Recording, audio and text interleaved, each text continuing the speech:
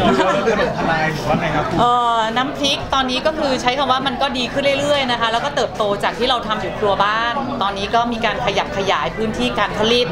เอ่อมันทำให้เราสามารถพัฒนาสินค้าได้มากขึ้น เพราะว่าเราก็เริ่มแบบว่าเอาเข้าไปตรวจแลบใช่ไหมคะก็มีฟู้ดไซน์มาประจำและเพื่อที่เราจะได้ปรึกษาว่าเราจะพัฒนาสินค้าได้ยังไง แต่ว่าคนอดี คนทำสูตรน้ำพริกก็ยังเป็นฝ้ายคนเดียวอยู่ล่าสุดก็ออกน้ำจิ้มอีกแล้วนะอ่าทำไปเรื่อยๆทำไปเรื่อยๆเป็นเจ้าแม่แล้วเหรอคันเนี้ยคือคือมันเหมือนว่าเรามาเจอความสุขจริง ๆ ในช่วงแบบใกล้จะ40นะอย่างก่อนหน้านี้เวลาที่เราเล่นละครเราก็ happy ค่ะแต่ว่า ตอนที่อยู่ในครัวแล้วทำน้ำพริกแล้วมันได้ลองผิดลองถูกได้ลองแบบลองใส่อันนี้ก็ไปซิหรือลองอันนี้ซิมันมันมัน happy มากเลยเหมือนเหมือนเราเป็นนักวิทยาศาสตร์ทางอาหารนะมันเป็น feel นั้นมันก็เลยรู้สึกมีความสุขมากค่ะ แล้วก็เห็นเอ่อปุยแสบปากเขาเติบโตเราดีใจ แต่มันก็มีมิจฉาชีพไหมโอ้เยอะที่มาแอบอ้างว่า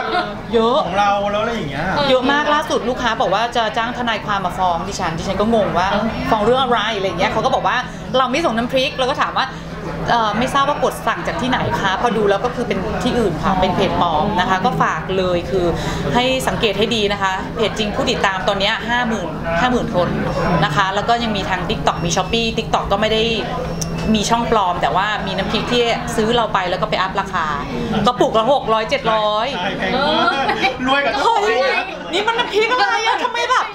ราคาหกร้อยคนก็กดงงมากอะไรอย่างเงี้ย คือเราก็ถามลูกค้าด้วยความที่เราทำเอง เราไม่มีโรงงานทำนะคะจำนวนที่ได้มันก็น้อย ลูกค้าบางคนอยากลองมากๆ พอไปเจอตรงนี้ 600 600ฉันก็กด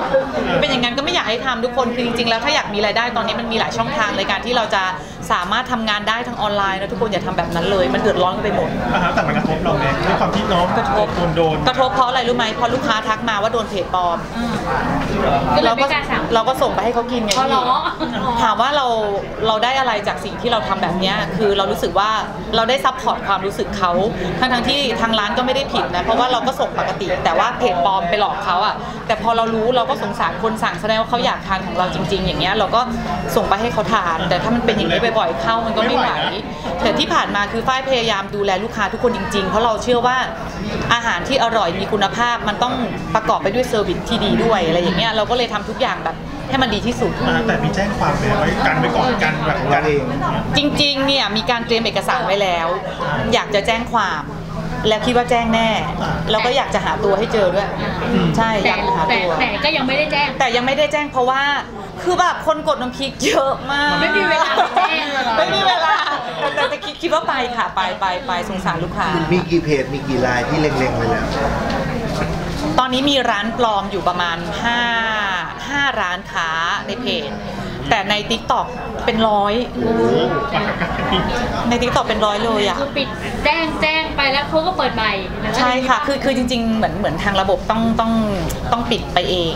เราก็ได้แต่ report ไปอะไรอย่างเงี้ยค่ะ แต่คราวนี้มันต้องเหมือนมีคล้ายๆจดเครื่องหมายทางการค้าเนาะยื่นเรื่องเข้าไปว่าเออของเราเป็นร้านจริงนู่นนี่นั่นซึ่งเราทำหมดแล้วค่ะเดี๋ยวก็ต้องรอกระบวนการทางระบบเขาก่อนว่าจะจัดการได้เมื่อไหร่ ซึ่งลักษณะของเขาก็คือเป็นใช้เพจปลอมนี่แหละขาย แล้วก็ให้ลูกค้าโอนเงินเข้าไปใช่ใช่ที่ไม่ได้ของใช่ค่ะ คือถ้าในเพจจะเป็นลักษณะนั้นก็คือโอนเงินไป แล้วก็ไม่ส่งของให้แล้วก็บล็อกลูกค้าเลย แต่ถ้าใน TikTok ก็จะเป็น feel เอาน้ำพริกเราไปตั้งราคาสูงมาก ๆ แล้วก็ส่งนะเขาสั่งน้ำพริกฝ้ายไป เก็บไว้ก่อน แล้วขายให้พี่อย่างเงี้ยเก็งกำไรแล้วเขาก็เอาอันเก่าเนี่ยส่งไปให้พี่ แล้วพอไปถึงพี่บางทีก็บูด เพราะว่าน้ำพริกเราไม่ได้ใส่สารกันบูดเราทำสดตลอด มันมีเวลาของมันอะไรอย่างเงี้ยแล้วก็สงสารลูกค้าค่ะ แล้วเวลาไลฟ์ต้องคอยพูดอยู่ตลอดเวลาไหมว่าคุณต้องเพจเราต้องเข้าเรียนเท่านั้นนะ สังเกตยังไงอะไรยังไง ต้องพูดตลอดแต่ว่าใน TikTok เนี่ยก็คือไม่สามารถพูดแพลตฟอร์มอื่นได้ เราก็ต้องพยายามหาวิธีการสื่อสารว่าระวังของปลอมนะ จะราคาอย่างนี้อย่างนี้อย่างนี้นะ แล้วก็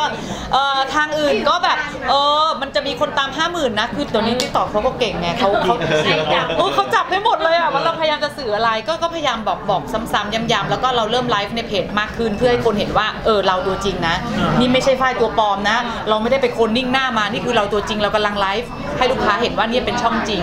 ช่วยเห็นใจเราหน่อยเนาะช่วยเห็นใจด้วยนะคะมิจฉาชีพทั้งหลายอย่าให้โมโหเลยนะคะ แต่เราเองก็โดนวักโดนเหวี่ยงเหมือนกันเวลาก็แบบคนอื่นที่สั่งกับคนอื่นได้แต่พอมาทวงทวงกับเรา ใช่ค่ะ ก็คือเวลาลูกค้าลูกค้าจะหาเพจจริงไม่เจอตอนจะซื้อเออ แต่จะหาเพจจริงเจอตอนโดนหลอกแล้วเพราะว่าอะไรรู้ไหมเพราะว่าพอโอนเงินเสร็จเขาน่าจะบล็อกแหละอ่าแล้วพอเขาเขาเข้าไปหามันไม่เห็นแล้วเขาจะเริ่มเจอเราแล้ว ตอนนั้นแหละเราก็ต้องแบบนั่งเจรจากัน ซึ่งซึ่งแรก ๆ อะ เราตกใจมาก แต่ตอนนี้เริ่มเริ่มเริ่มรับมือได้แล้ว เริ่มเริ่มทำใจได้กับการที่เราไม่สามารถดูแลลูกค้าที่ถูกหลอกได้ทุกคน ได้แต่เตือนเขาหรืออะไรอย่างเงี้ยแล้วก็ยังไงก็ต้องไปแจ้งความเออเรียกว่าออเดอร์ก็ยังเยอะอยู่ออเดอร์ก็ยังเยอะคือคืออย่างตัวไฟเองไฟมองว่าเราเราไม่ได้หยุดพัฒนาตัวเอง อย่างน้ำพริกตัวที่มีอยู่แล้วเราก็พัฒนาของเดิมให้มันอร่อยขึ้น แล้วเราก็ยังคิดอยู่ว่าเราอยากทำอะไรอีกอะไรอย่างเงี้ยเพราะเรามองว่าเรื่องของอาหารการกินน่ะมันเป็นสิ่งที่แบบ ไม่ว่าเศรษฐกิจ จะเป็นยังไงอาหารมันยังเรายังต้องกิน แล้วก็มนุษย์ทุกคนชอบกินของอร่อย ดีขึ้นมาหน่อยอยากกินของดีเนาะแล้วก็เขาเรียกว่าอะไรอะ service mind ครบเพราะฉะนั้นเนี่ยมันจะเกิดขึ้นอยู่ในปุยแสบปากทั้งหมด อร่อยสะอาดคุณภาพดี แล้วก็ตัวฝ้ายเองอะฝ้ายกล้ากล้าเอาตัวเองการันตีว่าหนูหมกอยู่กับเขามาเนี่ยกำลังจะ 5 ปีแล้ว หนูไม่ใช่แบบหยิบโยนทำแล้วก็หยุดทำแล้วก็หยุดแล้วเราทำเองตั้งแต่กระทะเล็ก ๆ ทะลุไปหลายใบจนกระทั่งตอนนี้เรา เขาเรียกว่าเริ่มเติบโตขึ้นเล็ก ๆ น้อยๆเราเรารู้สึกดีใจมาก แล้วเราก็ยังอยากพัฒนาต่อไป เพราะว่าตั้งใจแล้วว่าอยากจะให้น้ำพริกคุยแสบปากไปทั่วโลกค่ะเพราะว่าเออประเทศแล้วก็ปลูกก็ยังดีอะไรอย่างเงี้ยไหว้เจ้าที่ยังได้ข่าวเจ้าที่แรงโอ้ไล่แล้วไม่เจ้าที่แล้ว เจ้าที่ส่งเสริมแล้วก็เอ่อมีหมอดูบอกว่าเวลาจะไลฟ์ขายน้ำพริกเนี่ยให้แต่งตัวให้สวยๆเพราะว่าเจ้าที่ที่อยู่ที่โรงงานเนี่ยสวยมากเขาบอกสวยแบบประกวด MUT ได้เลยตั้ง ชื่อค่ะตั้งชื่อต้องตั้งชื่อให้เจ้าที่เหรอ ใช่เขาชอบแบบจริงเหรอ จริงอ๋อเฮ้ยถ้าเกิดไม่มีชื่อเราเวลาเราเรียกเขากล่าวถึงเราพูดถึงเออเรียกก็เขาก็ก็เรียกว่าสิ่งศักดิ์สิทธิ์เจ้าที่เจ้าทางเทวดาอารักษ์ที่สถิตอยู่ณที่แห่งนี้อะไรอย่างนี้เขาก็บอกว่าเจ้าที่อะสวยมากๆเพราะฉะนั้นวันไหนที่ฝ้ายแต่งตัวสวยๆฝ้ายจะขายดีมากเอ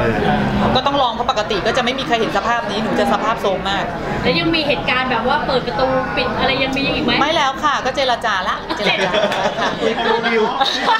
ดิวดิวก็รู้เรื่องคุยคุยกันแล้วบอกว่าหนูรับทราบแล้วค่ะ เพราะว่าล่าสุดอย่างหมอวังอย่างเงี้ยอยู่ดีก็เขียนไลน์มาบอกว่าน้ำพริกปลาย่างขมิ้นขาวมะเขือเปราะมะเขือเอ่อถั่วพูข้าวสวยไข่ต้มอ่าประมาณนั้นแล้วไฟก็เลยถามว่าคือคืออะไรเขาบอกว่าเจ้าที่ขอ อ๋อใช่ ก็ออกแบบนี้ ไม่เขาขอให้เราถวายอ๋อถวายใช่ค่ะ คือตัวหนูหนูไม่ทราบหรอก คือส่วนใหญ่ก็จะเป็นหมอดูที่สนิทกันเขาก็จะส่งมาบอกเราก็จะทำตาม เราไม่ได้เชื่อแต่เราแค่ทำตาม ไม่แต่ก็อยู่ด้วยกันก็ส่งเสริมหน่อยเนาะใช่ใช่ค่ะหนูว่าดีนะ เพราะว่าเวลาที่ถ้าวันนั้นประตูไม่เปิด เราก็จะไม่รู้ว่าพนักงานลืมล็อก ลืมล็อกแม่กุญแจ ล็อกแต่กรอนด้านบน เพราะว่าจริงๆ ถ้ามีแม่กุญแจเนี่ยมัน impossible มาก ที่มันจะเป็นไปไปได้แบบนั้น เพราะฉะนั้นเนี่ยหนูก็เชื่อว่าสิ่งศักดิ์สิทธิ์ก็จะคุ้มครองคนดีเสมอ เราก็ต้องทำตัวให้ดีด้วย แล้วก็อย่าทรยศกับลูกค้าใช่ค่ะ แต่ตัวเราเองก็เป็นแม่หมอเหมือนกันใช่ไหมลุงหายได้ลุงได้เลขอะไรกันมาตลอด คืออย่างนี้พี่บางทีมันก็แบบเดาสุ่มอะไรมันก็คง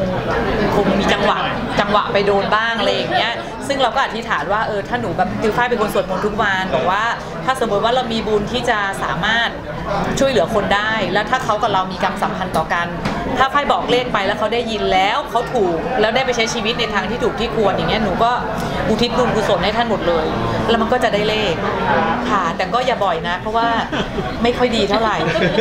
มีคนบอกว่าอย่าบอกอย่าบอกบ่อยนักเดี๋ยวไม่สบายอะไรอย่างเงี้ยค่ะ เอาเป็นว่ามีผลกระทบกับตัวเราเองแบบนี้ใช่ไหมใช่ใช่ใช่ค่ะ ก็ทางที่ดีที่สุดก็คือใช้ชีวิตแบบ มีสติทุกคนแล้วก็ทำงานด้วยอาชีพสุจริตทำมาหากิน อย่าไปคาดหวังตรงนั้นนะคะ แล้วก็ตอนนี้ไม่มีใครถามอะไรแล้ว นอกจากเรื่องน้ำพริกอย่างเดียว วันนี้เสียดายไม่ได้เอามาให้ชิมเออใช่ค่ะ โอเคเรียบร้อยเนาะขอบคุณนะคะ ขอบคุณนะคะขอบกล้องนี้นะฮะจ้าจ้าหนึ่งสอง